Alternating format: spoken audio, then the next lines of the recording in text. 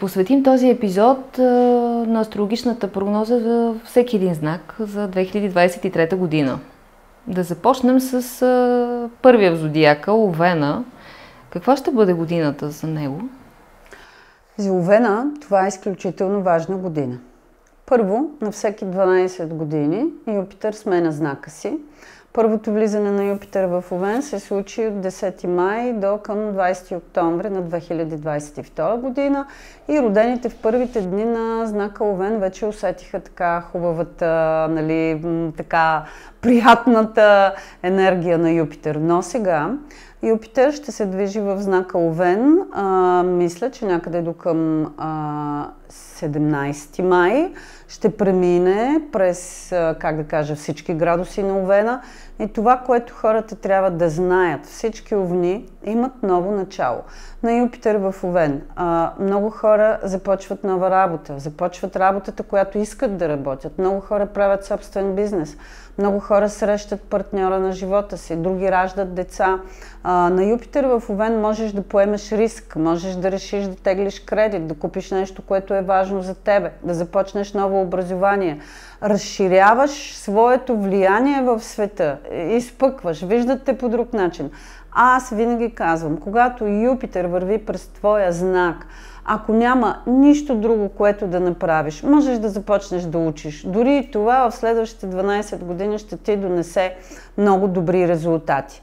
От там нататък а, в а, Юпитер влиза в Телеца в края на май. Телец е втори дом на Овена. При голяма част от овните Юпитер в Телец започва да им носи много добри възможности за доходи.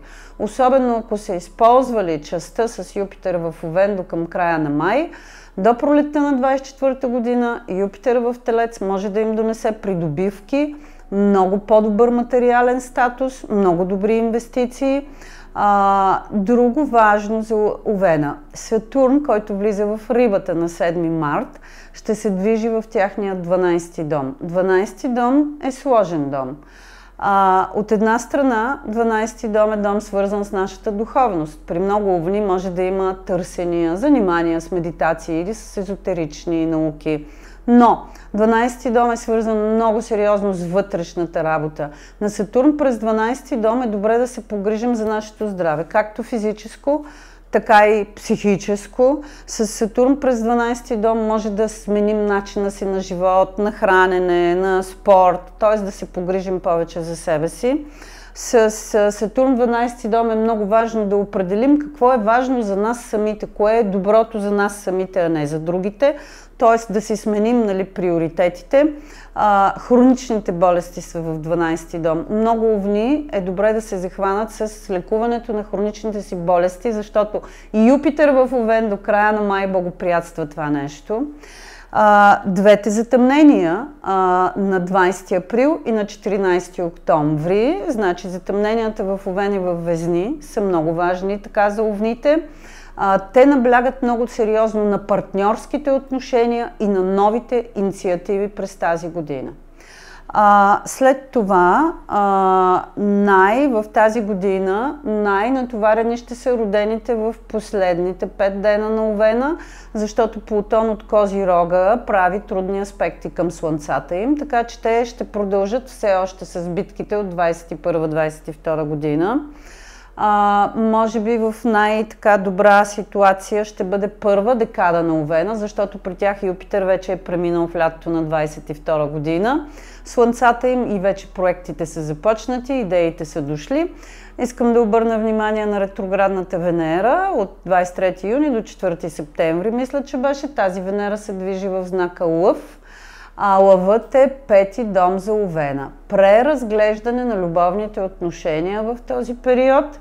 В този период да се пазят от повече скарвания, но от друга страна може да има и връщане на хора от миналото в живота им, с които да продължат отношенията по един добър начин. Каква ще бъде годината за телците? Така, значи за телците, за телците първо до към края на май Юпитер се движи в 12-ти дом. А, 12-ти дом, както вече обяснихме, това е дом свързан много с а, а, вътрешните ни така, проблеми. Юпитер през 12 дом е нещо като ангел-хранител. Той носи възможност да разрешиш дългогодишни проблеми по един много положителен начин. Или неща, които дълго време не са могли да бъдат решени, с Юпитер през 12 дом могат много чудотворно да бъдат разрешени. А, Юпитер през 12 дом може много да бъде добър за тези, които искат да се усъвършенстват, особено в сфери на здравето а, или да направят нещо добро за себе си. А, Юпитер 12 дом е а, добър за тези, които искат да се затворят за известно време в къщи. Било то за да гледат дете, било то за да учат, било то за да създадат някакъв проект или за да напишат нещо. Така че с Юпитер 12 дом изолацията, потапянето в дълбокото е по-скоро позитивно и положително. И после в края на май Юпитер влиза в Телеца. И за телците започва това, което казахме за Овена а, с Юпитер в Телец до пролета на 2024 година. Телците могат да започнат нова работа, да създадат нови проекти в бизнеса, да планират важни инвестиции, покупки, да срещнат партньори в личния живот или да вземат решения за, ангаж... за ангажимент, за семейство, за деца. Всичко това се благоприятства с този Юпитер в а, Телеца.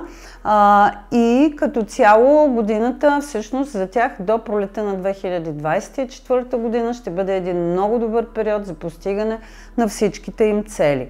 Сатурн, който се движи в рибата от март, се движи в тяхният 11 дом. 11 дом е по-скоро групов дом. Той е дома на нашите приятели, на групите, в които влизаме, защото имаме общи интереси. Сега, при много телци това може да бъде едно време, в което те ще искат да се включат в някакви групи. Хора, с които споделят общи интереси в някакви платформи, хора с които могат да имат някакви общи хуманитарни каузи или въобще някакви цели извън делничната работа. 11 дом е дом на приятелите. Поради това много телци, може би с този Сатурн ще разчистят старите приятелства. Все пак да напомним, че Сатурн разчиства само това, което вече си е отишло и което вече не е жизнено способно. А, с Сатурн в 11 дом много телци ще си сложат нови цели. То може би така едни по-високи цели. А, и 11-ти дом е дом на доходите от личния бизнес. Тези, които работят за себе си, с Сатурн през 11-ти дом ще преструктурират, може би, начина по който правят собствените бизнеси. А, след това затъмненията от 5 май и от 28 октомври, лунните затъмнения на тези дати, а, активират знаците Телец Скорпион. А, за много телци фокусът тук ще бъде върху важните лични отношения в брака, в а, връзките или важните бизнес партньорства. При някои телци ще има положителни развръзки, брак, решения за ангажиране, при други може да има и напрегнати отношения. Те трябва да са внимателни около тези затъмнения. А, друг важен транзит за тях ще бъде ретроградната Венера. В края на юни до началото на септември тя ще се движи в тяхният четвърти дом. Там може да има ремонти, там може да има а, неудачни решения за покупки и инвестиции. Там трябва да са малко по-внимателни с тази ретроградна Венера. Там може да има сдобряване и изглаждане в семейните отношения, ако дълго време са били по-хладни. Какво ги очаква въздушните близнаци през предстоящата година? А, първо, м- родените в първите дни на знака Близнаци от края на март до средата на юни ще усетят първият Плутонов тригон, защото Плутон ще бъде в знака Водолей и той ще направи първият тригон за тези градуси на близнаците. Плутоновият тригон е много мощно влияние той започва да събужда хората за някакви промени, за някакви трансформации. Затова родените в първите дни на знака Близнаци могат наистина да започнат да си проектират ново бъдеще. Може да не стане чак толкова бързо, но те да са готови за положителните промени. От там нататък Юпитер до а, към края на май ще се движи през тяхния 11 дом. 11 дом е щастлив дом. Даже древ, древната астрология са го наричали дома на добрите духове. Когато Юпитер е в 11 дом, е време да си поставим високи цели. А, време е да привлечем нови приятели. Време е да увеличим доходите си, особено ако работим за себе си. А, време е да си намерим а, групи приятели, които споделят някакви наши общи цели. А, то е, как да кажа, дом, който увеличава нашите сфери на контакти и на влияние. След това Юпитер ще влезе в а, знака Телец. А, Юпитер през 12 дом, защото Телец е 12 дом на близнаците. А, по същия начин може да им даде много добро разрешаване на дълго отлагани проблеми, сериозно подобряване в хронични заболявания, ако те се погрижат за това. За много близнаци може да има интересни занимания с медитации, с някакви такива йога, спиритуални практики, които да допринесат и за физическото им, и за менталното им здраве. А, така че този Юпитер ще бъде не толкова видим на външно ниво, но пък много осезаем на вътрешно ниво. Сатурн обаче, като влезе в знака Риби, влиза в 10-ти дом на знака Близнаци. Това е много важен дом. 10-ти дом, това е дома на нашата кариера и дома на съдбата. Така са го наричали пак в по-старата астрология. Когато Сатурн влезе в 10-ти дом, много важни стават въпросите за нашата кариера, за нашия статус в обществото. А, една част от близнаците, които не са доволни от старата си работа, може да имат стрес, защото там може някакви неща да се разрушат. Те ще трябва да напуснат. Или, примерно, фирмата, в която работят, а, ще бъде реорганизирана или закрита. Така че при тях ще трябва да се търсят нови варианти, да се правят нови проекти за бъдещето. Други от близнаците обаче може да усетят един страхотен възход с Сатурн 10 дом, особено тези, които обичат своята професия и които се намират на правилното за тях място. А, значи, а, при много от близнаците ще има големи промени наистина в кариера, в бизнес. Сатурн в никакъв случай не е лош. Тук често битува едно схващане, че Сатурн само ограничава, пречи, Сатурн структурира. Той създава много здрава основа. Ако ти знаеш какво искаш в живота си и каква точно структура на живота си искаш, с Сатурн 10 дом ще има много близнаци, които може би ще сключат брак и ще създадат деца. Това също често се вижда при този транзит нали, на а, Сатурн. Затъмненията в Овен и в Везни попадат в 11 и 5 дом на близнаците. Поради това, може би много близнаци ще имат а, деца през тази година или най-малкото желания за деца. Може би ще сменят училищата на децата си. А, и любовта. 5 и 11 дом са винаги свързани с любовта.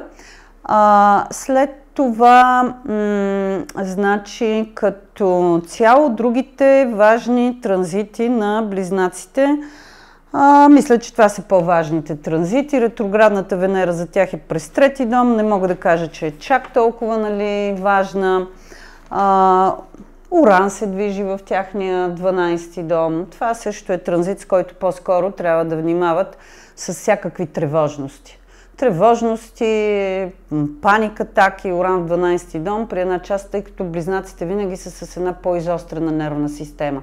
И те са един от знаците, които наистина трябва да обръщат сериозно внимание нали, на м- комфорта си, а, ментален и психически, и въобще физически.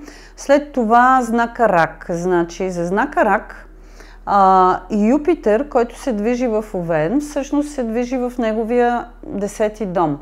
Юпитер в десети дом е по-щастлив от Сатурн в десети, защото Юпитер в десети дом той носи прилив и по този начин при много раци е възможно да има повишения в работата, промоции, да намерят желаната от тях работа, да създадат собствен бизнес или да разширят бизнеса си а, да запланират някакви важни разширения в кариерата, в работата. А, и Юпитер, въпреки че е в 10-ти дом, а, много често действа като големи придобивки. Независимо, че е 10-ти дом, статистически голяма част от хората решават, примерно, да купят а, нещо важно, да инвестират в нещо важно, а при жените в женския хороскоп Юпитер в 10-ти дом много често носи брак. Не Юпитер през 7-ми дом, а в 10-ти. И това е статистически просто нали, установено, така че до края на май раците ще трябва да положат доста усилия, защото Юпитер в Овен им прави напрегнат аспект, ще трябва да положат доста усилия, а, за да могат наистина да постигнат тези желани цели в кариерата. След това Юпитер влиза в Телец, той влиза в тяхния 11 дом, прекрасно време за приятелства, прекрасно време за социални контакти, а, прекрасно време да си намерят групите, в които искат наистина да съществуват и да общуват в обществото, време за качване на доходи, хубаво време за деца. Не само за раждане. Може да бъде хубаво време да настанят децата в добро училище, да направят нали, важни неща за децата, които винаги са искали да направят.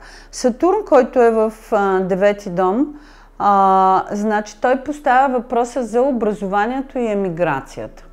А, може би при доста така представители на рака ще има мисли за емиграция в следващите години до 2025. С Сатурн в девети дом емиграцията не винаги е много лесна. Аз винаги казвам, тъй като емиграцията не е много лесно начинание, е добре да имаш добри влияния в личният си хороскоп, за да стартираш с емиграция. И поне първите една-две години нали, да са ти малко по-лесни. Но при много представители на знака тези мисли ще стоят. От там нататък Сатурн 9 дом до 2025 година поставя въпроса за образованието. А, много раци ще трябва да замислят някакво образование, за да могат да отидат на по-високо ниво в кариерата си. А, други може би ще правят докторантури, дисертации, магистратури. При всички случаи могат нали, да направят една експанзия в тази сфера. Тези, които се занимават с интелектуални дейности, могат да напишат книги, да направят някакви интересни разработки. За много от раците може би ще има тежки изпити, тежко дипломиране, защото Сатурн не винаги е лесен, но при всички случаи пък ще бъде много, така как да кажа, полезно в последствие. А, затъмненията, слънчевите от 20 април и 14 октомври, засягат 10 и 4 дом на раците, т.е. там фокуса ще бъде върху отношенията с родителите и върху предизвикателствата в кариерата. Пак казвам, до края на май могат да имат големи успехи, но не по най-лесния начин. Трябва да се положат усилия. И след това а, към, а, бих казала, че през 2023 година в най-добра позиция ще се родените в първата декада на рака, защото Юпитер от Телеца ще им прави дълго време хармоничен аспект. При тях нещата ще стават относително лесно. А в най-трудна позиция ще са родени в последните 5-6 дена на знака рак, защото Плутон ще им прави опозиция от Козирога, когато се върне през лятото на 23-та година до края на годината, така че те ще са в най-трудната позиция и ще трябва да довършват някакви по-проблеми от предишните години.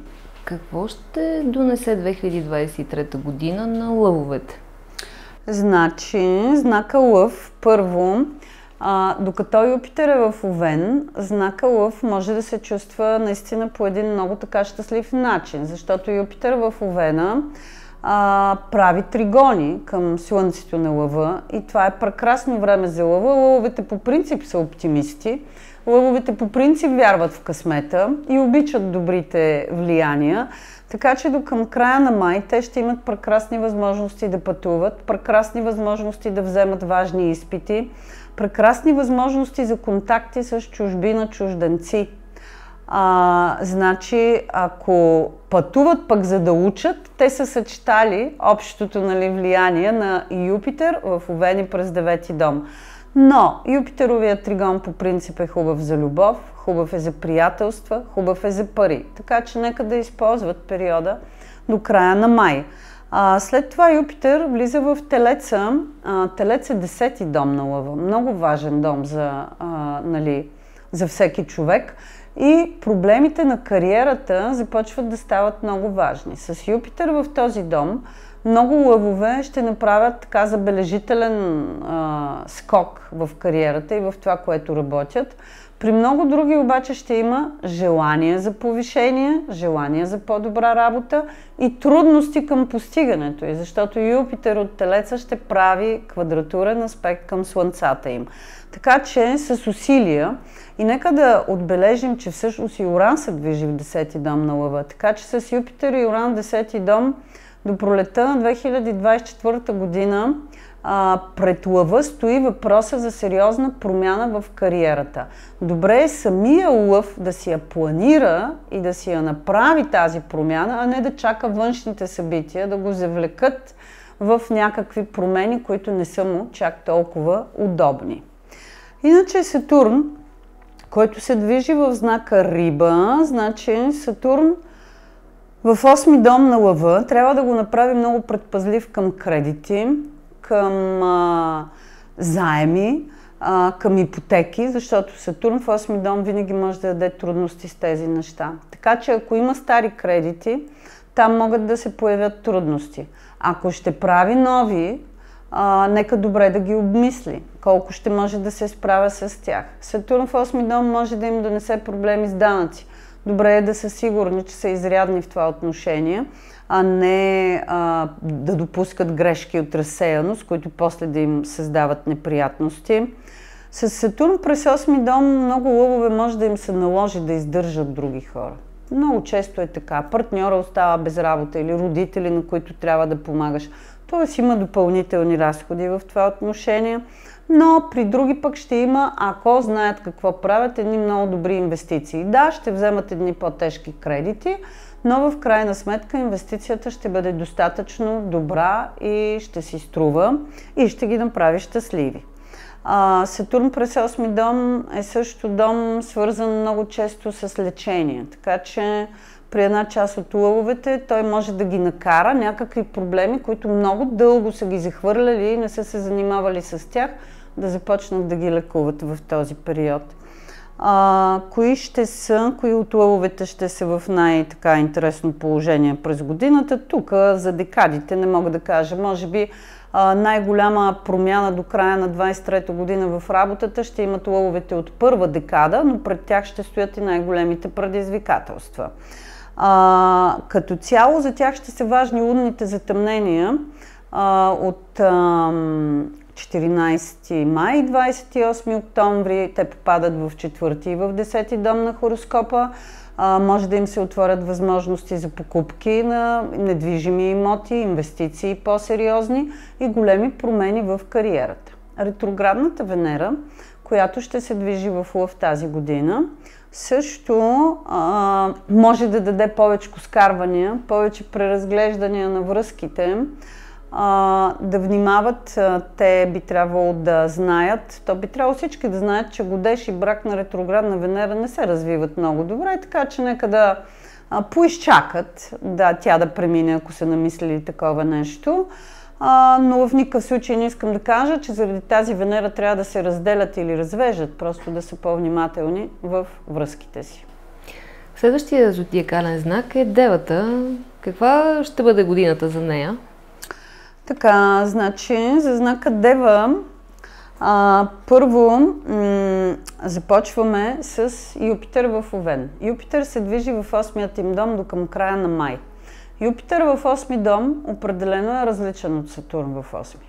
Юпитер в 8 дом е много често на пари.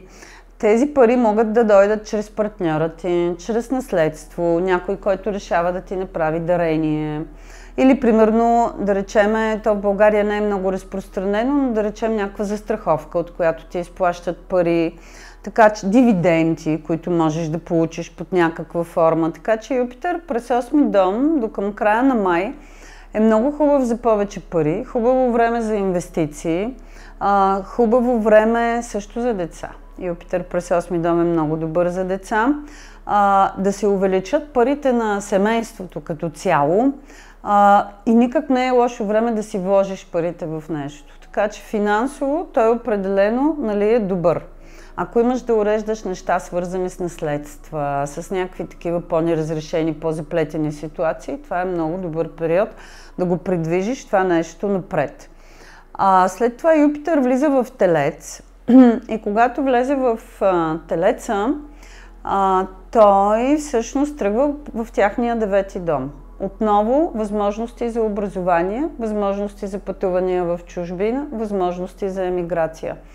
А, нека да си обърнат внимание на всички възможности да повишат образованието си. Било то като магистратури, като курсове, като нещо, с което могат да отидат на по-високо ниво в съществуването си. Това ще им се отдаде много лесно с този Юпитър.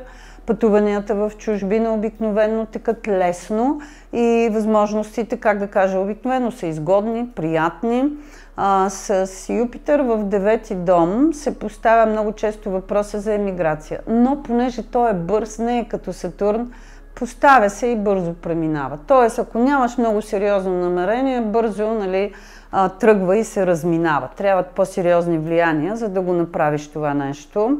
Сега, при девите е много важен Сатурн, който влиза в рибата. Значи, този Сатурн влиза в тяхния седми дом. А, и директно първата така декада на девата, още през а, тук до лятото на 23-та година, може да усетят стрес в личните си отношения.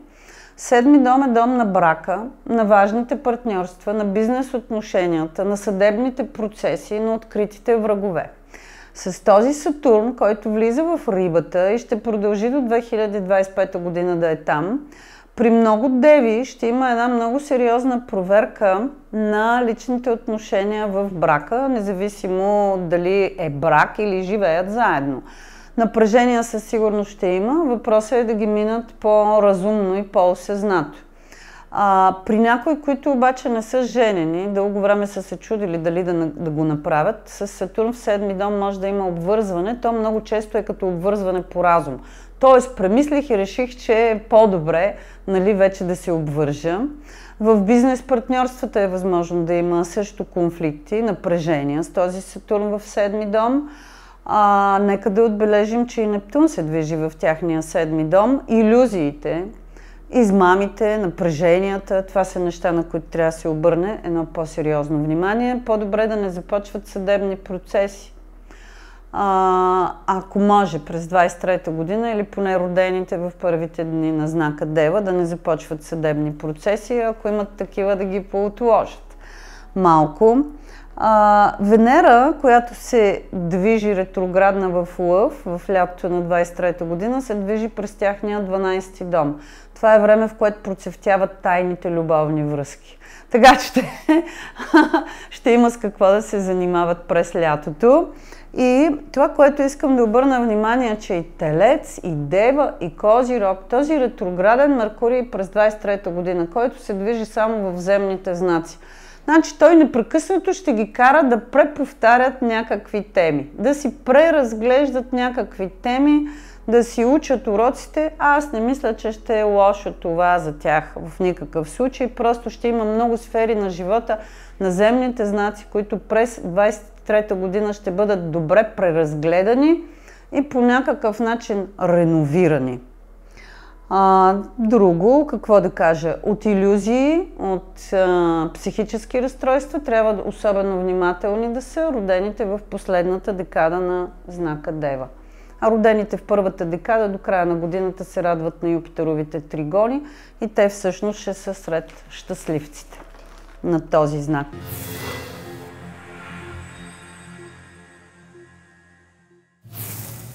Следващия зодиакален знак е Везни.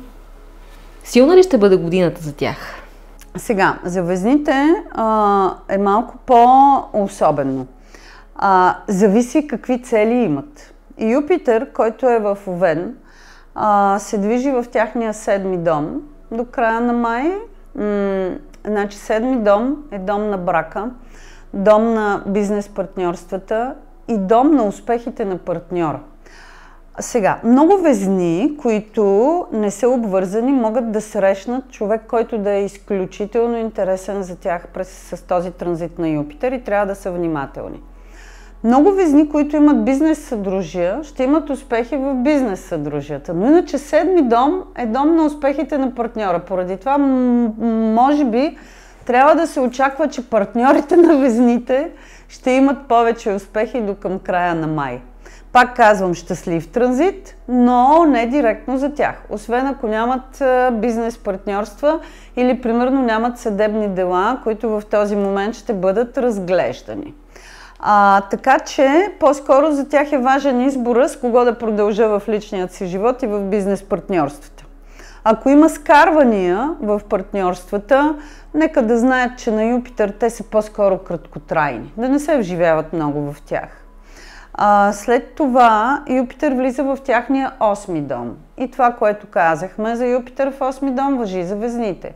Хубаво време за качване на доходи. Успехите на партньора могат да донесат повече пари при партньора. Повече пари да влязат в семейството, да получат наследство, дарение, подаръци. Хубаво време за инвестиции, ако искат да теглят кредит за някаква цел. Юпитер в 8 дом, т.е. Юпитер в Телец, благоприятства вземането на кредит при изгодни условия. Ако искат да преразглеждат кредит, защото много хора сега с тази криза ще се опитат да преразгледат своите кредити, значи Юпитер в 8 дом също е много благоприятен нали, да получат едни по-изгодни условия в кредита си а, с, с Сатурн, който влиза в Риба, в тяхния шести дом. А, това е време до 2025 година, в което първо ще трябва да си обърнат сериозно внимание на здравето.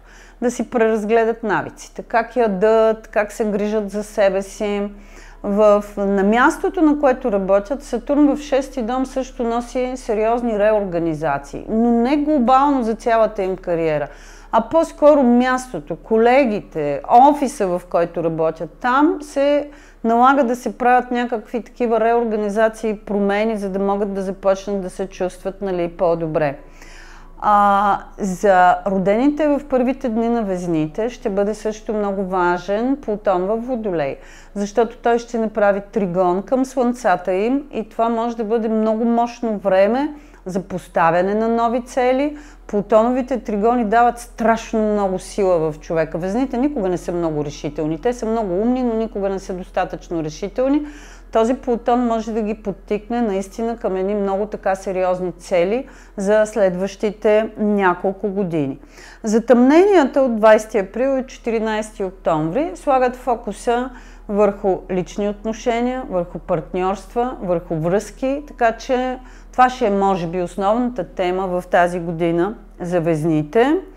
А, какво да кажа? Най, а, може би, тежко ще бъде за родените в последните 5-6 дена на знака Везни, защото те ще усещат Плутоновата квадратура.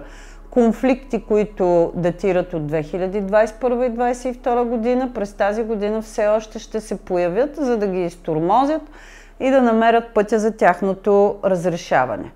Ретроградната Венера ще бъде в тяхния 11 дом.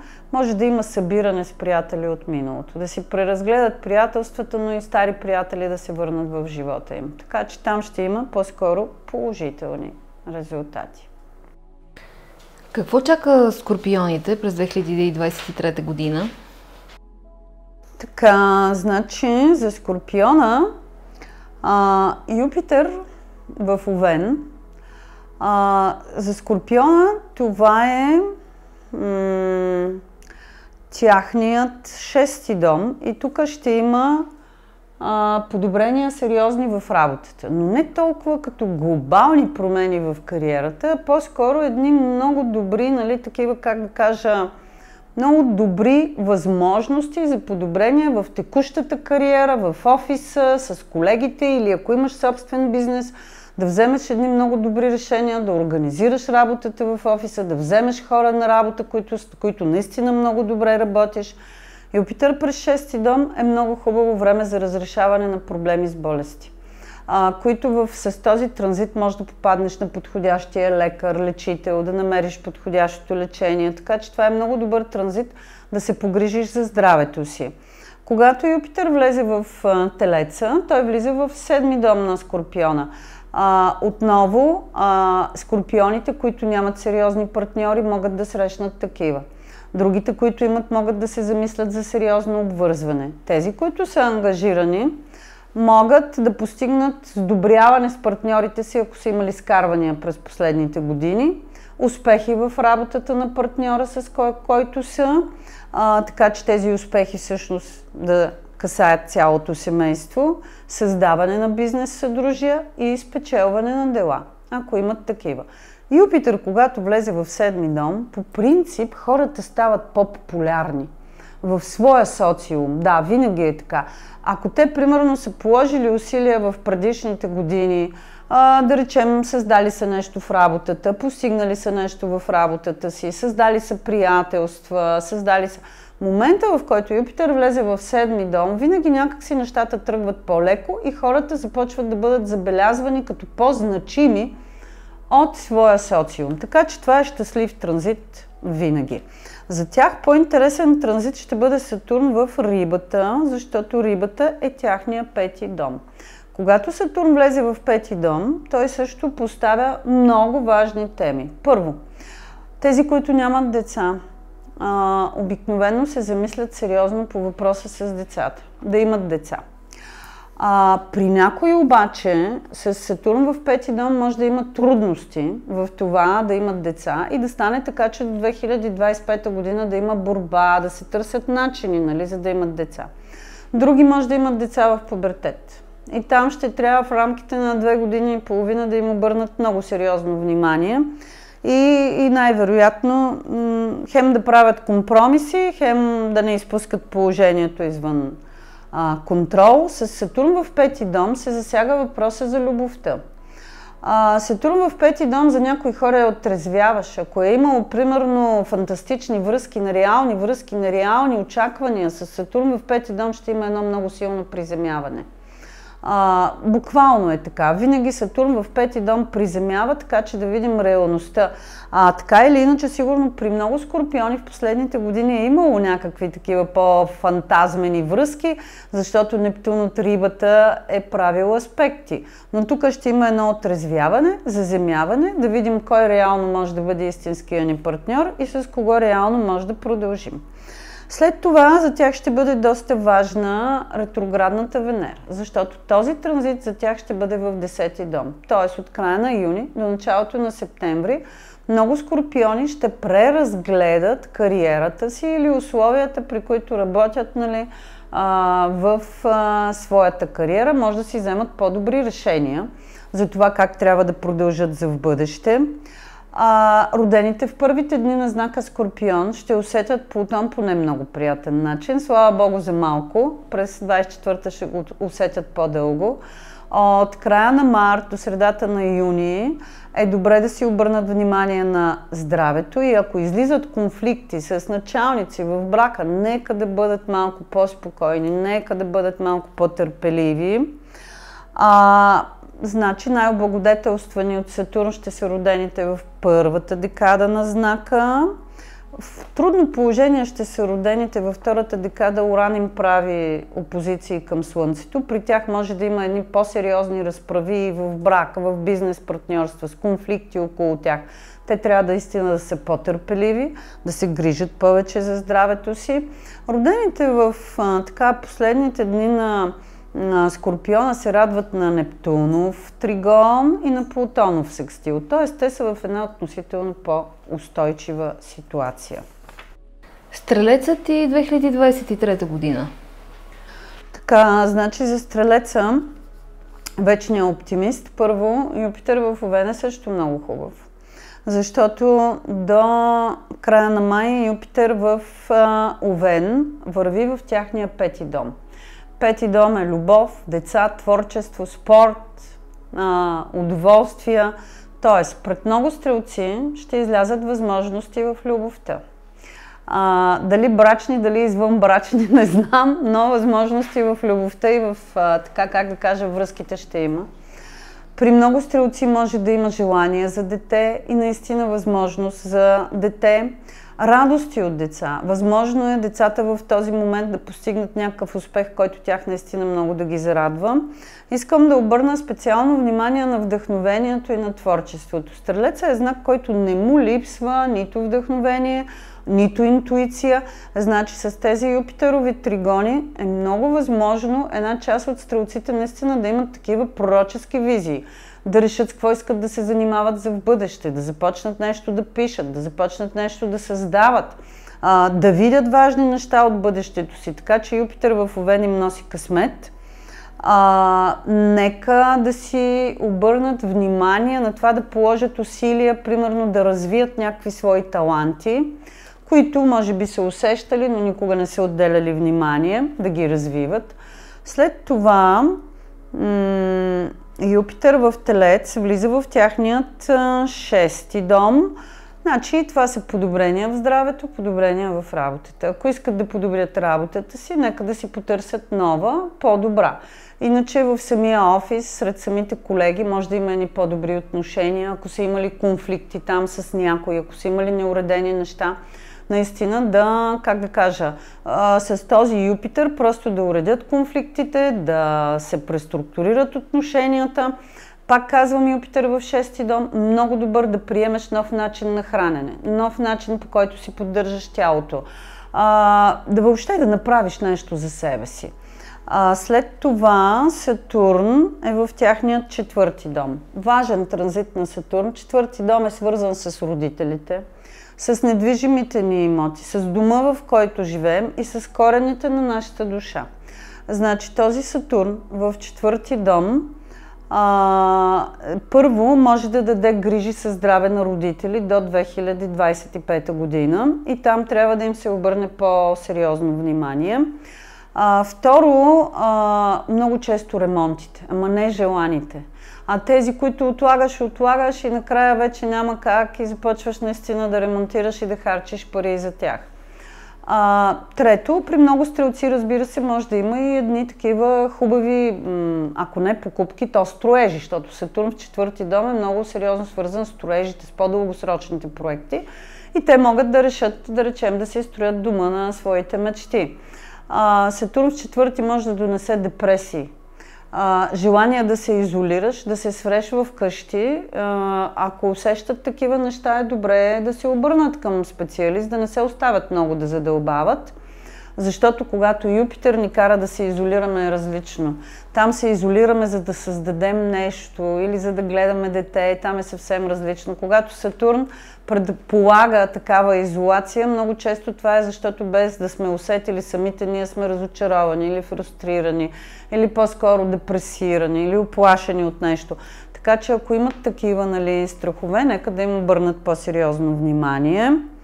А, родените в последната декада на Стрелеца да се пазят от иллюзии, фантазии, невярна информация. Нептун прави квадратура към Слънцето и това означава, че те са особено податливи на фантазии и иллюзии. Дай сега тук това да го купим, дай сега тук това да инвестираме или някакви прекрасни хора, които влизат в живота им, които им обещават какво ли не те трябва да са така много бронирани срещу такива измамни нептунови нали, предложения и хора.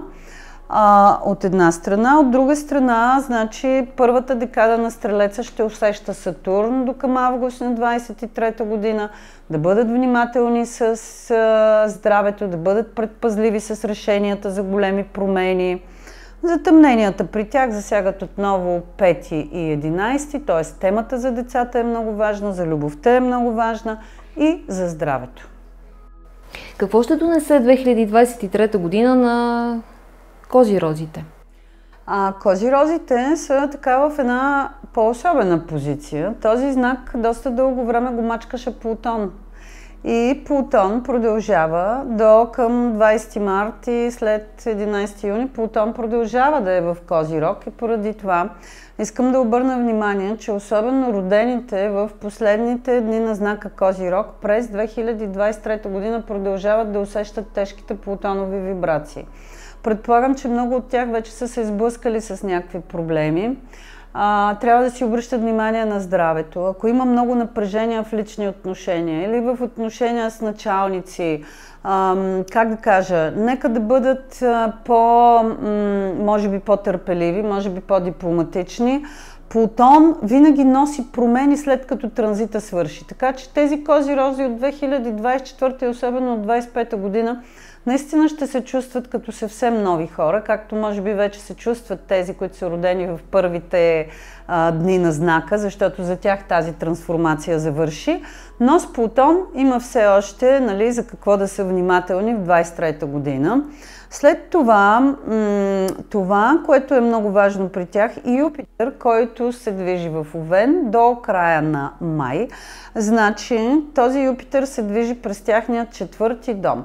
Четвърти дом е дом на родителите, на недвижимите имоти, на корените на душата ни, на собствеността, която притежаваме.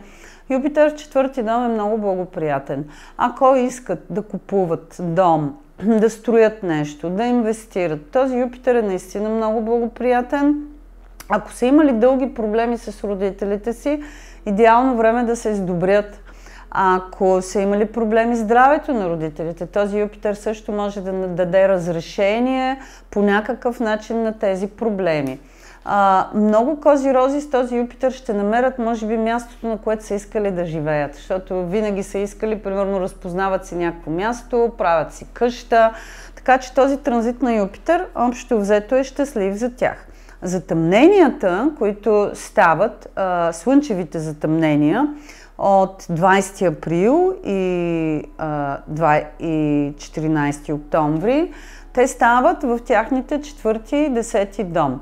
И те отново слагат фокуса върху собствеността, която те искат да придобият и върху тяхната кариера. Отношенията с родителите също ще са много важни за тях заради тези затъмнения. А, след това става нещо интересно. Юпитер влиза в Телеца в края на май и Телеца е пети дом на Кози Рога. И сега да обърнем внимание, че и Уран се движи в Телеца, т.е. Юпитер и Уран се движат в пети дом на Кози Рога и лунните затъмнения а, от 14 май 28 октомври са също в тяхните пети и девети дом. Това навежда на мисълта, първо за любовта. Най-вероятно много кози рози ще срещнат важна любовна връзка в тази година. Значи тези, които все още чувстват Плутон, може би връзката ще бъде по-трудна в началото или ще тръгне по-бавно. Но за другите тези влияния според мен освобождават наистина пътя за важни романтични срещи през годината. Други кози рози ще имат деца. Аз така го виждам. Това ще си бъде точно като раждане на деца, а не само да им сменят училища. И там ще имат е, доста добри ситуации, може би да стане по лесен начин или ако известно време не са могли да имат в тази година да се отворят такива възможности. След това Сатурн, който се движи в рибите, се движи в тяхния трети дом. Трети дом е свързан с интелекта, с братята, сестрите, съседите. Най-вероятно много хора ще се изпокарат с братя, сестри или съседи с този Сатурн. А, но това няма да е основното проявление на този транзит. А, първо е добре да внимават с менталното си здраве, защото Сатурн през трети дом може да донесе някакви депресии, черни мисли а, при транзита си през трети дом. Други обаче може да решат да учат. В този смисъл Сатурн през трети дом е много добър. Могат да завършат курсове, езици, някакви допълнителни такива квалификации, някакви сертификати, които могат да вземат с този транзит на Сатурн. И това вече наистина ще бъде едно разумно, как да кажа, отношение към този транзит. Разумно проработване. А, Меркурий, който се движи само в земните знаци, през 2023 година ще им даде доста ситуации, в които ще трябва да премислят, да си преразглеждат нали, позициите, но в никакъв случай няма да е негативен за тях, така че поне от това няма защо да се страхуват. Идва ред на Водолея. Да. Така, значи за Водолея. За Водолея е много важно, че Плутон ще влезе в знака Водолей. Но тъй като той ще влезе за малко през 2023 година и почти няма да си сменя градусите, плутоновия натиск, от който всички се страхуват, ще го усетят само родените в първите няколко дена на Водолея. А, виж, при тях Плутон може и веднага да започне да ги вкарва в някакви ситуации, в които те виждат, че има проблеми и трябва да се справят с тези проблеми. По принцип, това, което трябва да се знае за Плутон. Плутон действа много бавно и подмолно. Той обикновенно не начертава веднага големите проблеми. Той просто създава някакво чувство за напрежение, за стрес, че нещо тръгва, че нещо се случва, но много дълго време ти дори не можеш нали, да видиш проблема лице в лице, защото усещаш, че има нещо, но не знаеш откъде точно идва. Така че Плутон ще бъде за прекалено малко във Водолей, за да им създаде някакви нали, сериозни грижи.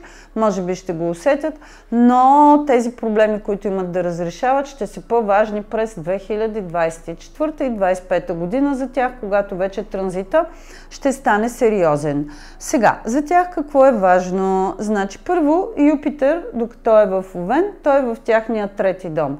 Прекрасно време, а, учене, курсове, обучения, кратки пътувания. Кратки пътувания, които могат не само да са за удоволствие, а пътувания, които да им донесат, примерно, пътувания за да учат нещо, пътувания, командировки, при които се запознават с хора, които са важни за тях, а, нещо да решат да напишат. Юпитер в трети дом може да е много ползотворен. Аз забелязвам тук в последните години, че имам страшно много а, хора, които решиха да пишат книги или поезия и то така доста сериозно. Така че тук може да има такива творчески импулси, да се занимават с нещо, което да развие ума им по позитивен начин.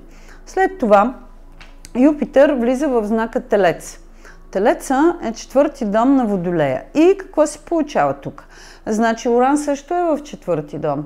С Юпитер и с Оран в четвърти дом и с две лунни затъмнения, които също ще са в Телец Скорпион, т.е. в четвърти и в десети дом, а, за Водолея ще стане много важна темата за дома, дома в който искат да живеят, отношенията в дома, подобряване на условията, при които живее, подобряване на отношенията в дома, отношенията с родителите, грижата за родителите.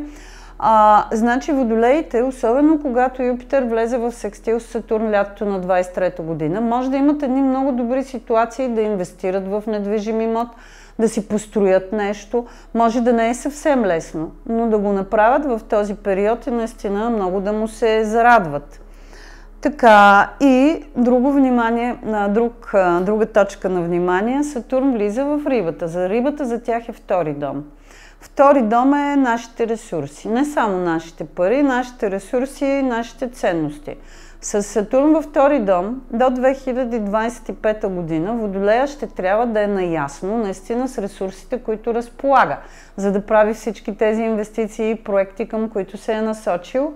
При някои от водолеите може да има ограничаване на доходите, ограничаване на парите. С това трябва да са наясно и доколкото могат да действат по-подсигурено. При други обаче просто ще има едно много сериозно структуриране на възможностите да си качат доходите до 25-та година, защото лято на 25-та, 25-та година Юпитер Близнаци ще започне да им носи много добри възможности да качат материалното си съществуване на едно по-добро ниво. Затъмненията при тях, слънчевите, са в трети и в девети дом.